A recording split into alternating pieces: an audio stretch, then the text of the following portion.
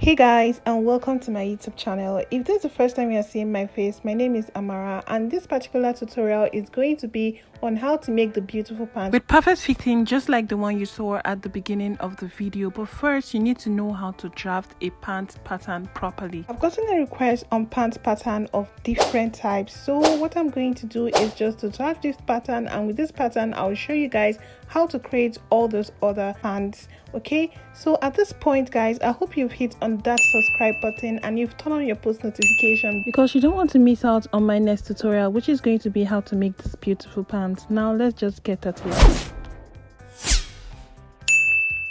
The first thing you'll be needing is going to be your pattern paper and you need to ensure that your pattern paper is long enough to contain your trouser length, okay? Because you want to draft everything on your pattern paper.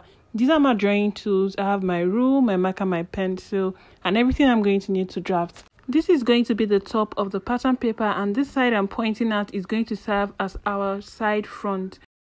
From the top of your pattern paper, you're going to come down by 1 inch and from the side front, you're also going to come in by 1 inch. And this 1 inch you are coming in by is going to be for adding stitching allowance after we are done drafting our pattern.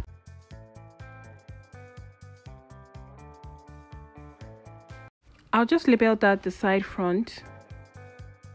After that, the next thing you'll be doing is to place your vertical measurements, okay? So before placing my vertical measurements, my band is actually 1.5 inch. So I'll make sure to take note of that 1.5 inch before placing my vertical measurements. The next thing to do is to place your crotch depth measurement. And to get your crotch depth measurement, you have to divide your hip by 4 and then add 2 inches to that.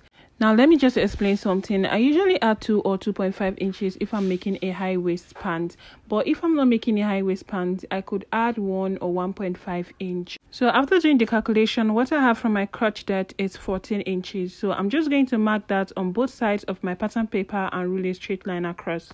And do not forget to take note of your band height. As you can see, I'm taking note of my 1.5 band height before placing my measurements on my pattern paper.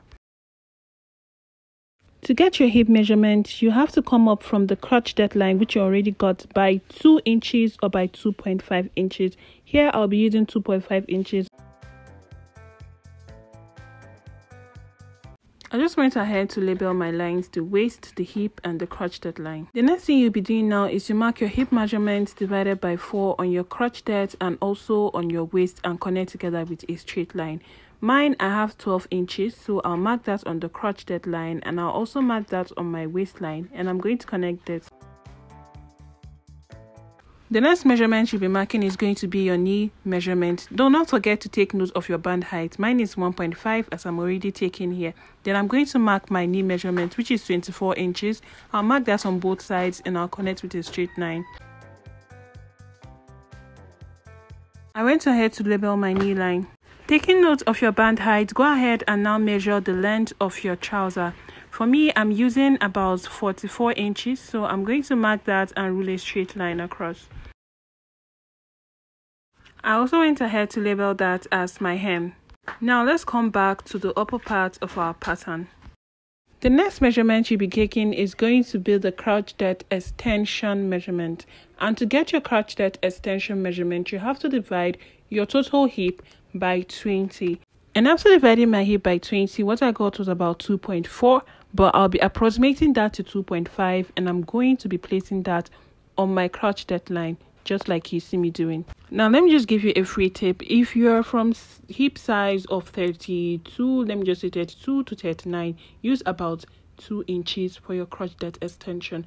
But if you have a hip size of from 40 to 48 or thereabout, you use 2.5. Okay, unless the person is on a plus plus size then you know that you have to go above 2.5 another thing i do to help me get a perfect crotch curve is to come in from that point. You see me pointing out by one inch. So i'll just come in there and mark the one inch and i'll use my curve to connect that into my line just like so.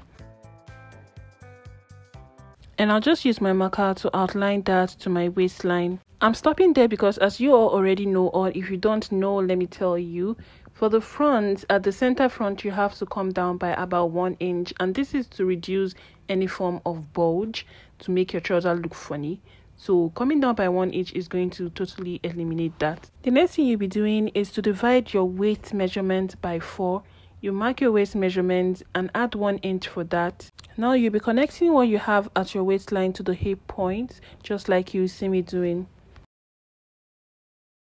and also you'll be connecting what you have at the waistline to this point on the center front that you came down by one inch just like you see me doing here the next thing is to place your darts and an easy way to do that is just to get the total measurement of what you have on your waist and divide it by 2.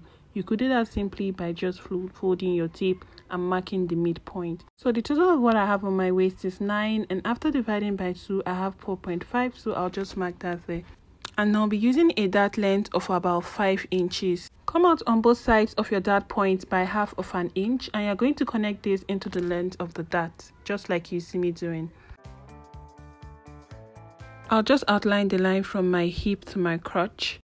The next thing you'll be doing is to get your crease line and this crease line is really really important if you want your trouser to look straight and not funny. And how to get this is to get the total measurement on your crotch which is from the beginning of the crotch to the crotch depth extension to the crotch extension just like you see me doing and you fold your tape into two just to get the midpoint of that. Now this midpoint you have here is what you're going to mark on your knee line and on the length of your trousers, just like you see me doing. After marking this point, now connect it with a straight line all the way to the crotch depth line, just like this. Now that we have this crease line, whatever measurement you have, you're just going to divide it into two and spread it equally on both sides of the line. Now the next measurement I'm going to be taking is going to be my knee. I already measured my knee and I have a tutorial on my channel on how to take accurate body measurements to make a perfect pant. So for my knee here, I have I'm using 20 and I'm going to divide that 20 by 2. Okay? After dividing that 20 by 2, what I have here is 10 inches. And this 10 inches, I'm going to divide it into two equally on both sides of my knee line. I'll be adding one inch to what I have on my total knee. So because I want extra ease. So instead of 10, I have 11. So it's going to be 5.5 there. And then I'll mark 10.5 here. The next thing to do is to connect from this point to the crotch depth extension and the other side into the crotch, just like you see me doing. Now for the hem, remove 2 inches from what you have on your total knee and place it on the hem. So I'm removing 2 inches from the 10. So I have 8. I'm marking 4 on both sides. And I'm going to connect this with a straight line into my knee line.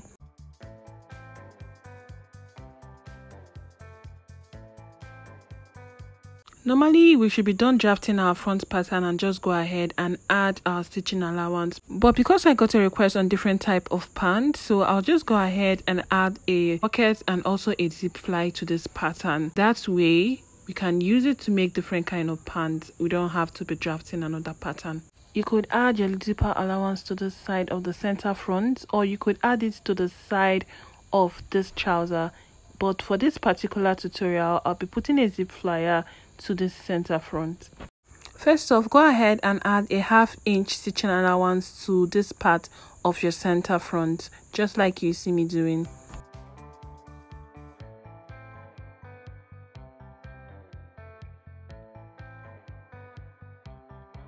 I'm just going to level the 0.5 inch stitching allowance I added there.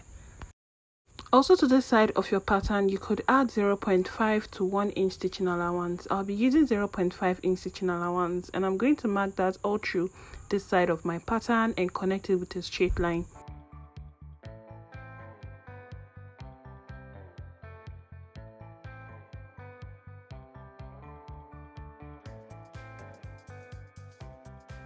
On my side front, I'll also be adding half inch. You can go ahead and use one inch if you want, but I'll be using half inch and I'll mark it all the way through and connect it just like so.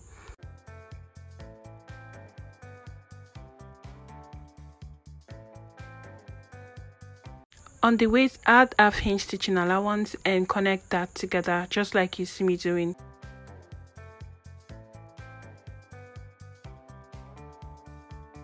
After marking the stitching allowance the next thing we'll be doing is to place the length of our zipper fly so i'm going to be starting from that point you see me doing there and I'll be using a length of 5 inches for my zipper fly. The next thing is to mark the width of your zipper fly. Here I'll be adding 1.5 inch and you can also use 2 inches but I'll be using 1.5 and I'm going to connect it into my waistline just like that. The length of my zipper fly is actually 5 inches but if you add that extra half inch above my waistline that is for stitching allowance I have 5.5 so I'll just also mark that on this side. Mark my 1.5 inch width and I'm just going to scale that up like you see me doing. Now at the bottom of my zip fly I'm just going to form a curve there. You can use your free hand to do this just like you see me doing After done with that, you're done with the zipper fly and now go ahead and draft out the pocket. Now for my pocket from the side of my side front, I'm going to come in by 2 inches and I'm going to mark that there. And for the length of my pocket, I'll be using about 7.5 to 8 inches. Just make sure that your hand can pass through that part without stress. Then connect these two points together with a curve just like you see me doing.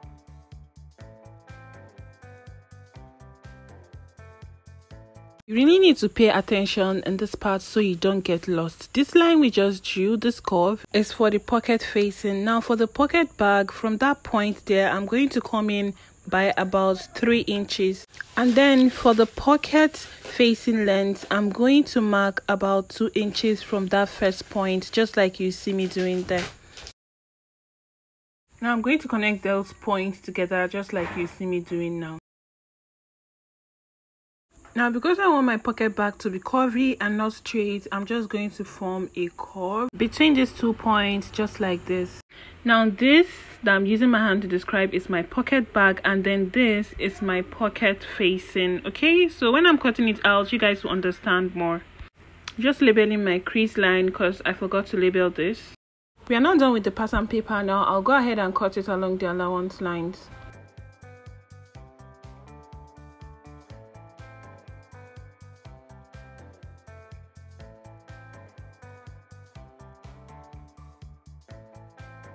We are done with the front pattern and you'll be needing to cut out two of this on your fabric. Now using another pattern paper, I'm going to trace out my pocket facing, my pocket bag and the zipper fly shield just like you see me doing. So just get a little piece of pattern paper like this and what you're going to do is to place your pattern on it and the next thing I'll be doing here is to trace out the pocket bag and the pocket facing just like you see me doing. Because this is just a tracing, you might not see it when I'm done tracing to cut out. But if you do it yourself, you see them because they are just connecting with dots.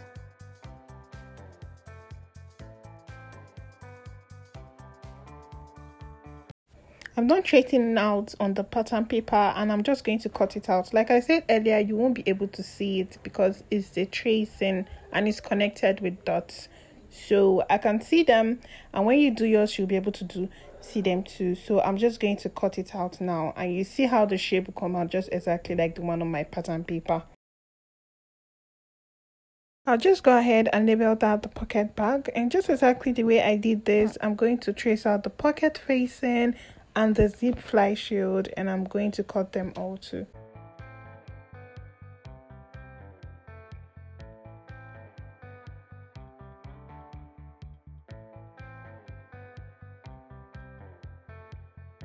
Now I have my pocket facing which is this one and my pocket bag which is this one. I hope you understand that now. I'm just going to trace out the zip fly shield and cut it out just the way I did for the others.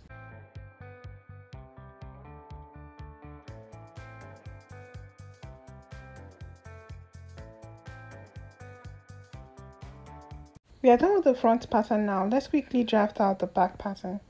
For the back pattern, I already went ahead to place my vertical measurement just like how we did in front, but for the waist from the top, I came down by 2 inches. For the side back, I came in by 1.5 inch. I have my crotch depth there and you already know how to get that. From there, 2.5 inches up, I have my hip line. That's my waistline, this is my knee line, and I have the length of my trousers. Now, just like we did in front, just mark your hip line divided by 4 on your crotch depth and also on your waistline. Connect these two points together with a straight line. For the crotch depth extension on the back pattern, add 2.5 or 3 inches if you are really on the bigger side to what you had on your crotch depth in front. Then on the hip line, I'm going to come out also by 2 inches and I'm going to connect these two points together and then into the waist just like you see me doing.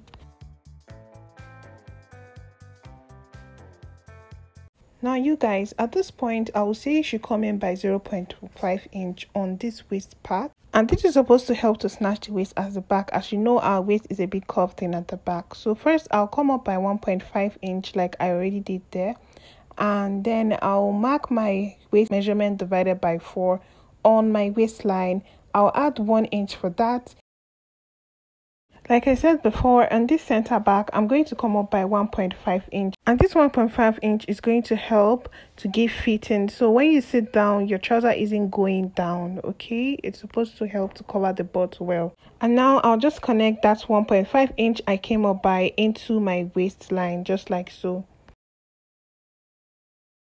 Now, because we want the measurement we have here to be exactly tight on our waist, you need to make sure that the measurement you have on the first waistline and the one you came up by by 1.5 inch is the same.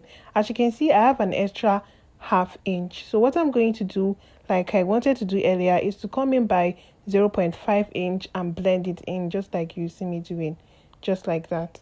And I'm going to cancel the first line and this is now my new line. Now I'll just connect my waist measurement into my hip and crotch depth. Now just like you did in front, to get your dart point, just divide what you have on your total waist by 2 and then you come down by 5 inches. For the back I'll be using 5.5 and I'm going to connect that with a straight line. Come out by 0.5 inch on both sides of my dart point and connect it to the dart length. Now, just like you did in front, go ahead and get your crease line. You take the total measurement of what you have on your crotch line and you divide it by two. You can simply do that by folding your tape into two and marking the midpoint. This midpoint, you'll be marking it on the knee and on the length of your trouser and just connect them all with a straight line, just like you see me doing.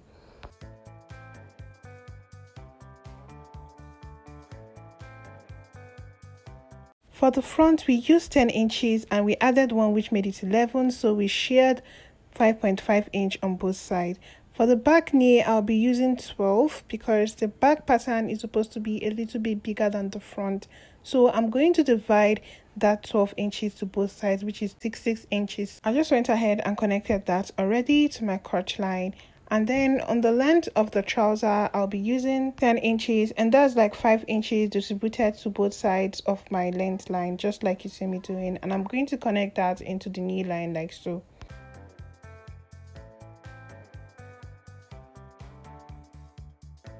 Now we are done with the back pattern and do not forget to add your stitching allowance. I added a 0.5 stitching allowance to the center back this way and I added 1 inch to my side back. For the back, we'll be cutting out two pieces for the back also. This part, I also added 0.5 inch and also to the top of my waist, I also added 0.5 inch stitching allowance. Now we are done with the pattern drafting and we have come to the end of this tutorial. Thank you for watching and I hope this tutorial was really really helpful. In my next tutorial, I'll be showing you guys how to stitch and how to make it into a beautiful pant like this. Do not forget to hit on that subscribe button, turn on your post notification to like and also comment if you have any questions at all. If you love this video and it was really helpful, do not forget to share with your family and friends who you think would need to see this, okay? I'll see you guys in my next tutorial. Bye!